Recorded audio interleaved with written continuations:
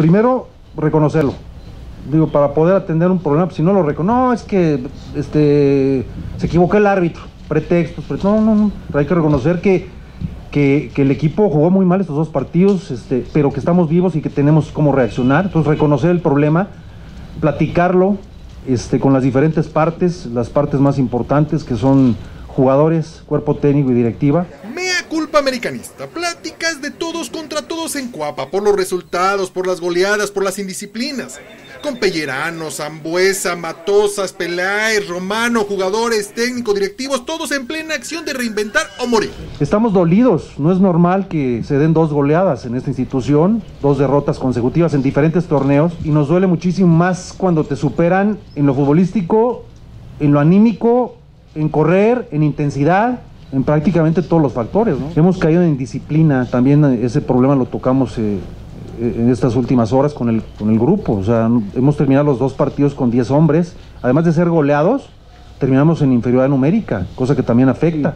Sería muy fácil de mi parte echarle toda la culpa a los jugadores, pero no. Cuando las cosas no funcionan, cada quien tiene su porcentaje de responsabilidad. Y cuando funcionan también. Entonces sí, sí, me ha faltado. Me ha faltado. Y espero mejorarlo en estos días. Lo que espero ahora es que vengan cosas buenas. Hay que cambiar algunas cosas, que evidentemente creo que este momento sirve para, para modificar algunas cosas y seguir adelante. Voy a poner más énfasis en algunas cosas para que el jugador lo entienda mejor. No me genera temor esto. América viene de, de dos años exitosos, dos campeonatos y una final perdida. Llevo 10 partidos y no vi la mejora que yo espero en el equipo. Y uno tiene que ser honesto. ¿Qué voy a decir? No, está todo bien. No, no estaba bien. Estaba todo mal. Dos partidos, siete goles en un cuadro grande como América. Estaba todo mal. Entonces, por más que siento el respaldo de la directiva, tampoco me los puedo llevar puestos.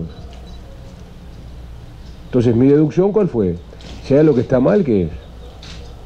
Cambiar al entrenador.